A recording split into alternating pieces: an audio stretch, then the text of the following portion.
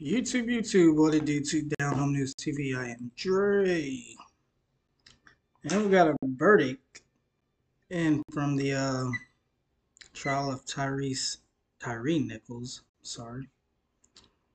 Coming from NBC News, verdicts reached in the trial of former Memphis officers charged in a fatal beating of Tyree Nichols. The jury reached a verdict Thursday in a federal trial of three former Memphis police officers charged in the deadly beating of Tyree Nichols, according to NBC News affiliate WMC. Demetrius Haley, Justin Smith, and Tadarrius Bean are accused of depriving Nichols of his rights through excessive force, obstructing justice, through witness tampering, and other crimes. They pled not guilty to the charges. Haley was found guilty of one count of conspiracy to witness tamper and one count of obstruction of justice. Bean and Smith were found guilty on only one count, obstruction of justice regarding witness tampering.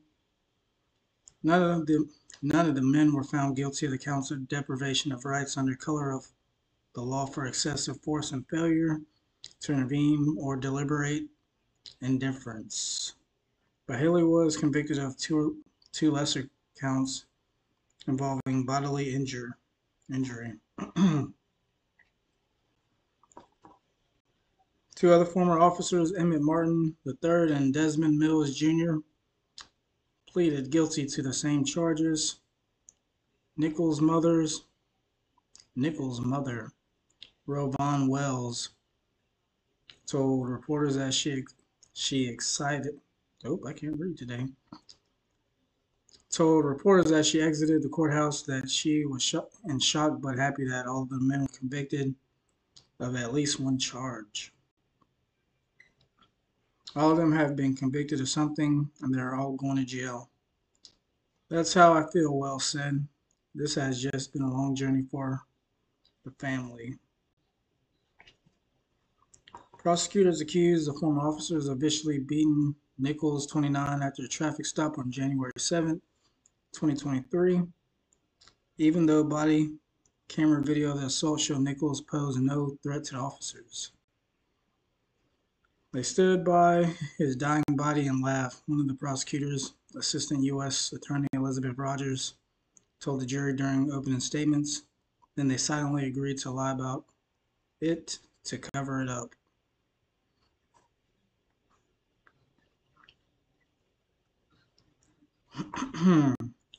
Defense lawyer for Bean said the officers had been trying only to subdue a, sub, a suspect who failed to follow officers' instructions.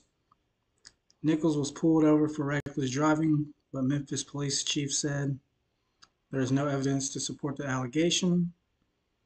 Mills testified against his former colleagues during the four-week trial and acknowledged striking Nichols with his baton three times. Baton.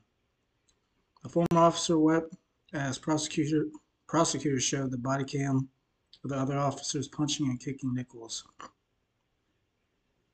I made his child fatherless, Mills said of Nichols. I'm sorry.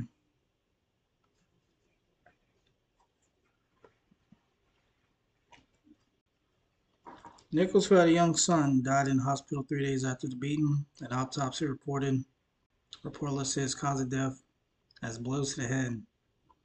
Five officers who are members of the crime suppression team called Scorpion Unit were fired after Nichols' death for violating police department policies. Their unit was disbanded. Federal prosecutor Kathryn Gilbert asked the jury Wednesday to find the defendants guilty on all counts. She argued that the heart of the case, the officers acted together and willfully aided and abetted in the assault that killed Nichols. Five officers beat Tyree Nichols. Five officers left him to die. And five officers covered it up, she said. Bean's lawyer, John Keith Perry, said there was reasonable doubt for each of the crimes his client was charged with. Haley's attorney, Stephen Leffler, disputed the prosecution's claim that Nichols never posed a threat to the officers and said it was Martin, Bean, and Smith's blows that killed Nichols not Haley's.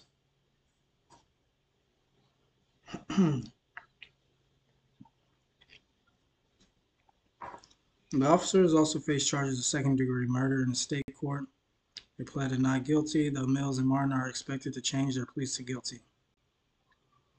This article was originally published on NBCNews.com. Oh man, More things change, more things stay the same, man. That's sad. I'm not going to get into the allegations of what was floating around on the web about the reasons why they allegedly target Mr. Nichols, but may the brother rest in peace, man. It's horrible.